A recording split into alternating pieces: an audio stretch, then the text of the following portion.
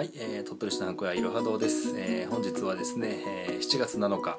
えー、七夕の日ということでですね、えーまあ、あんまりあの七夕とハンコ屋って関係ないんですけど、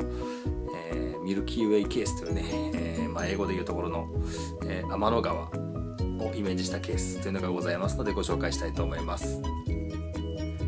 えー、印鑑ケースといいますとね、えー、割と地味なものといいますかね、まあ、和風なもの、和風なデザインのものっていうのがね、えー、まあ、多いんですが、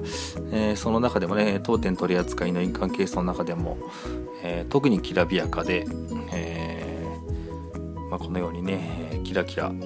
反射するような素材を使っておりまして、まあ、特に若い女性なんかにね、え人気がある印鑑ケースでございます。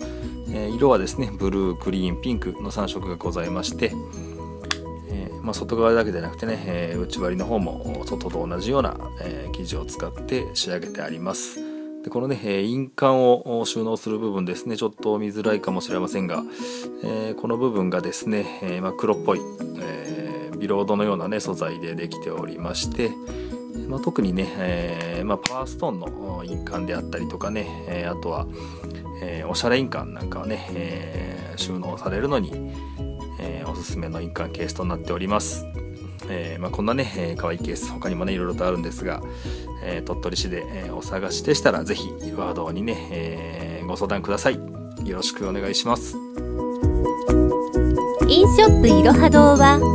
鳥取市二階町三丁目静街道筋商工会議所並びです。